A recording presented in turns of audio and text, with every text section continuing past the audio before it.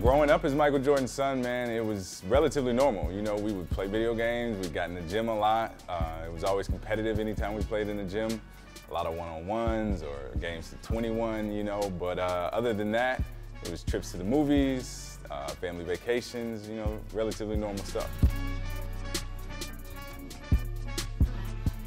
Father's Day was pretty typical for us. You know, we would wake my dad up, he was probably watching a Western movie or, or watching game footage, but uh, yeah, we would just plunker down beside him and, and watch footage, watch film, watch movies. It's, it's, a lot of fun moments from Father's Day and from being real young and, you know, making handmade gifts to, you know, then growing up and figuring out, okay, what, what can I get dad for Father's Day? And it was more of a group effort uh, than anything else.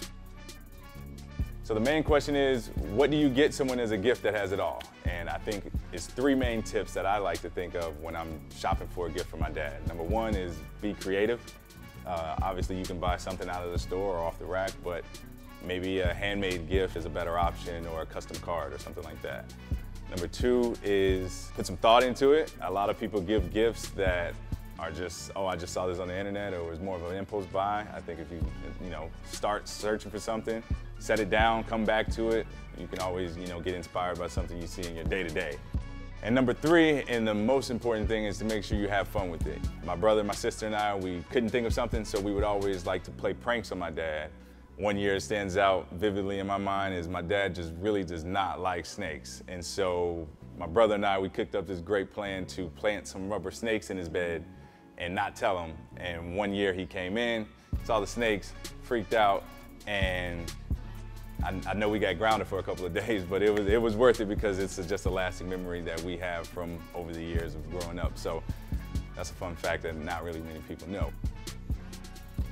You know, now that we're all adults, it's it's more about staying in communication. You know, I try to call my parents and my dad on a daily basis, if not a couple times a week. And I also like to get down to West Palm and play golf with my dad.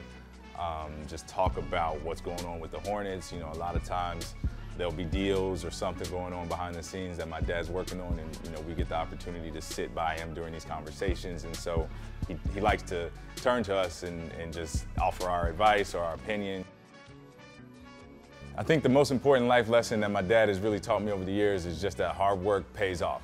And I think that truly came to fruition a couple weeks ago when I opened Trophy Room. And you know, a lot of people think that I just open, or I say I want to open a boutique and I get handed over a store, but it was a lot of long nights and late hours and going back and forth on uh, build outs and, and, just every little intricate detail of opening a retail store. And, you know, my dad was there every step of the way giving me advice. And to have him there at the grand opening a few weeks back was just, you know, uh, a testament to that. And so to share that moment with my dad and to obviously have Father's Day a few weeks later, I'm sure it's something that we're definitely going to be reflecting on this weekend.